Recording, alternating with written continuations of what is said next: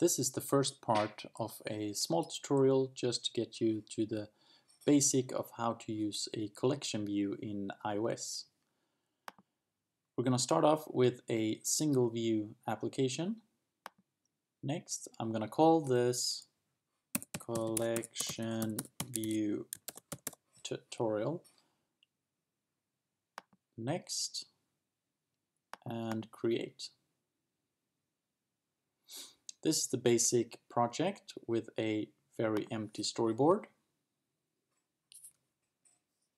Like this. We're going to be using not a collection view controller, that is all of the view controller is a collection view.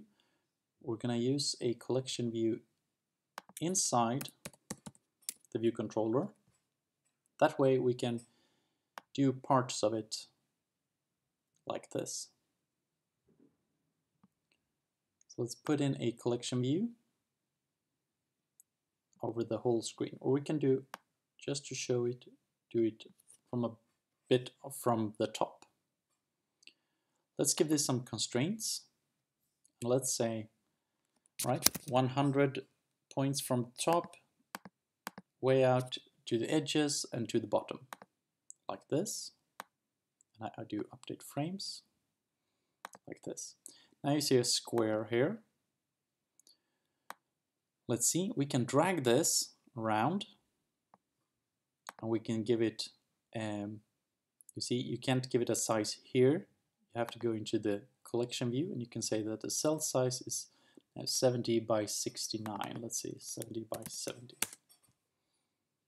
That's this square size.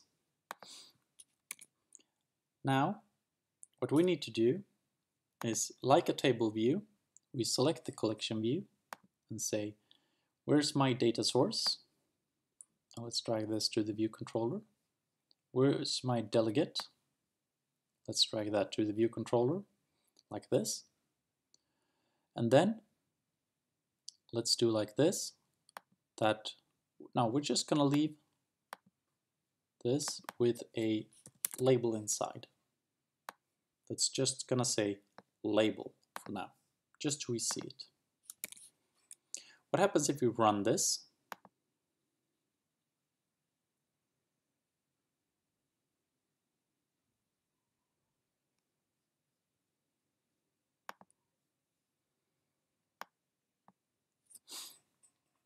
You see, we get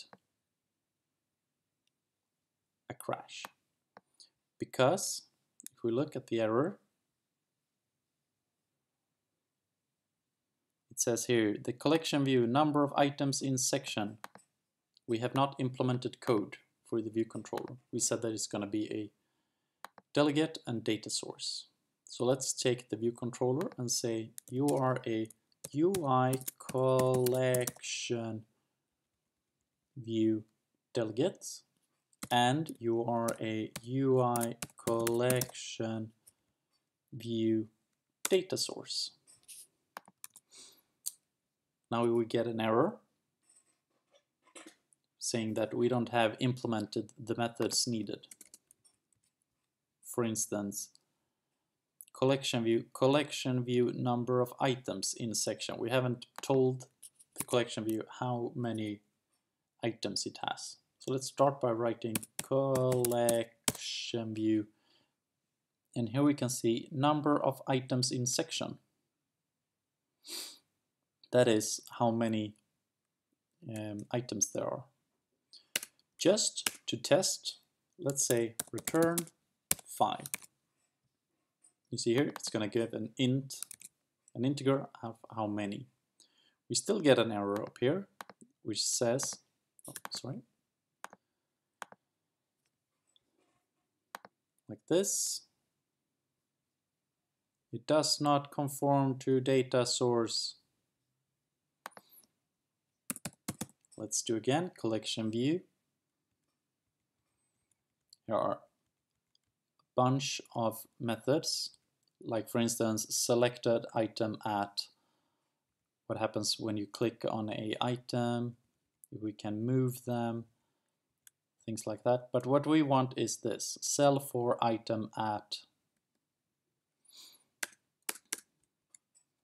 this method, like the one in for a UI table view, gives us how the item is to look like.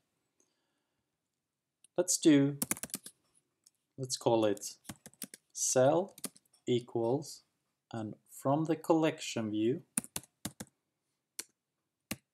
give me dequeue reusable cell with identifier for item path. Right, what's the identifier? We haven't set that yet. Let's just call it cell. For item path, this is a bit confusing, capital I, for the item path called I, um, for index path with a small for index path. And then just say return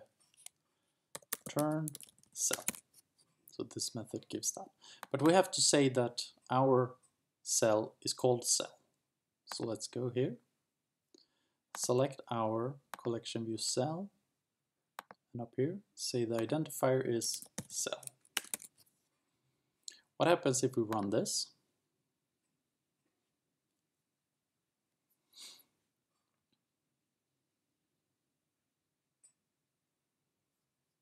We get five of these.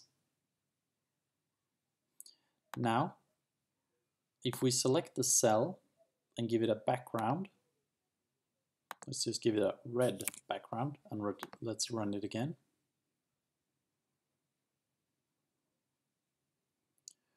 We get these boxes that are 70 by 70 and it tries to fit in as many as possible. It happens to fit in our 5 and give space. Let's say not 5 but some odd number. So let's say 13.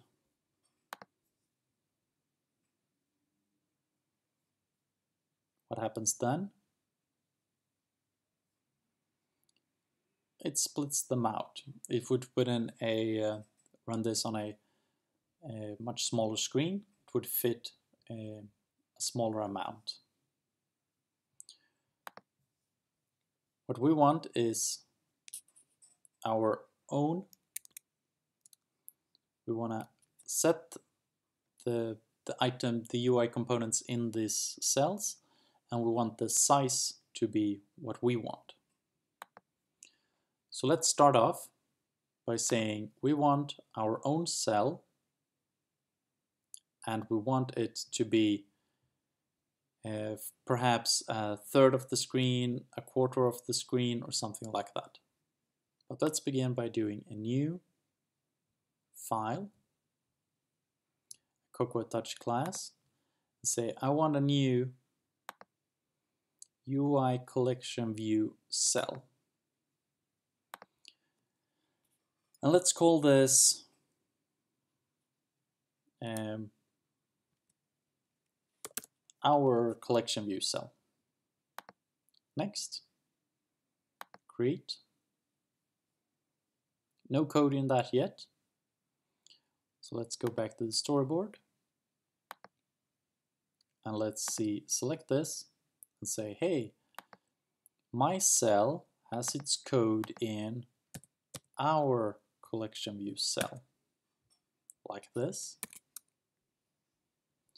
And then what we want to do is make a connection here. If we select the label, and we have to select here, sorry, here, our collection view cell. Let's see, let's drag in this label like this, make an outlet for it, and let's call it the label. Connect. Like this.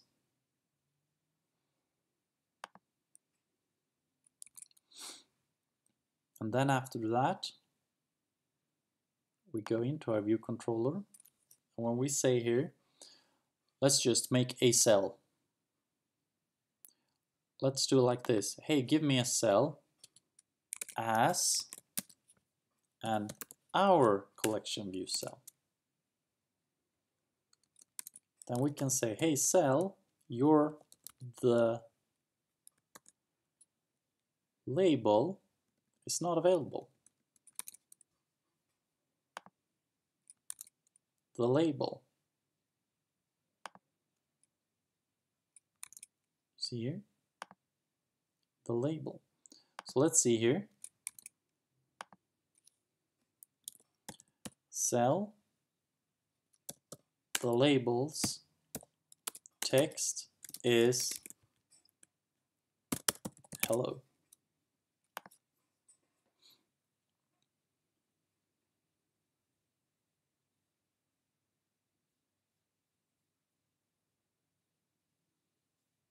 Now,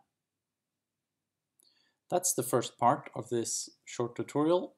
In the next part, we're going to go through how to make an array of, of titles and some other things and set the value and how to um, set them in a certain size.